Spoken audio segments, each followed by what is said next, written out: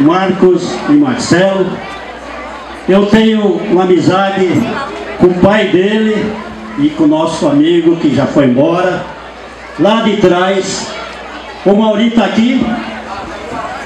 Então, o Mauri era o secretário de esporte naquela época, amante de milionários.